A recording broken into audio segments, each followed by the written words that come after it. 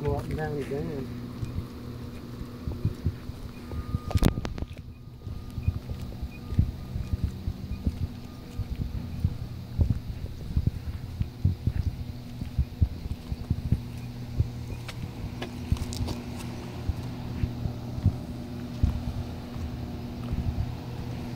Dude, What? jump down here and climb down that ladder. Oh, hell no. I bet if your buddy was here, I said, dude, I bet you can't get down on that ladder. Before I got done with it, he would have been over this and jump already. Man,